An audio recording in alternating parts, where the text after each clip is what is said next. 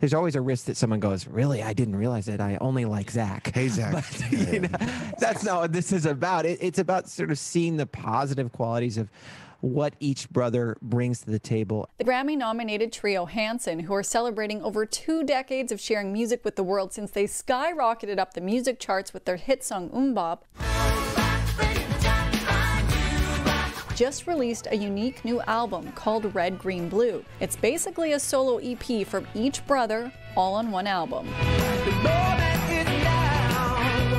I'm just so curious why you decided to release it this way. And I know people might bring up Kiss. For me, this is so different. yeah, Yeah.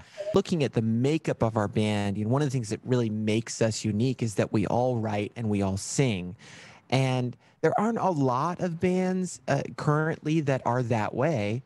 Uh, and the idea of doing three EPs was kind of that was the the crux of the idea. Wow, we'll just do three pieces. Like Isaac will make something and Taylor, and then we said, but but to tell the story, it kind of needs to come out together, right? So you see them next to each other, so you you compare them in the positive way. Each brother took their own creative path to their contributions on the album. Taylor's songs are the red portion.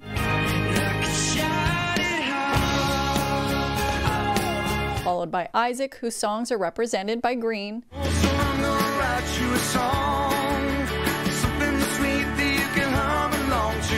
Then the youngest brother Zac finishes off the project represented in the blue portion. for the music. We're here for the craft. We're here for the process. We're here for the journey. And I think people crave connection, and music is one of the greatest connection points, the greatest way. Oh, wow, I'm not alone. And so uh, this project will, I think, connect with some people in a way that they've never they've never felt from one of our records. I think. The trio is heading out on a worldwide tour with multiple stops in Canada that are already close to being sold out. But before they hopped on the tour bus, their hometown of Tulsa, Oklahoma proclaimed a Hanson Day, and the group also celebrated the new release with their fans in a week long celebration. And their fans are known to be karaoke masters. Hanson Week or Hanson Day is you know fan celebration where people from all over, as you you know, come come to Tulsa. So a lot of times it's about you know just feeding off of the fans. I mean, what they like to sing karaoke is actually the, the thing that Yeah, takes yeah. the scales. Well, they can also. We have a full array of all the Hanson songs, so they can they can select any random Hanson song that they want, and there's a karaoke She just wants to version know what you would sing. What I would sing.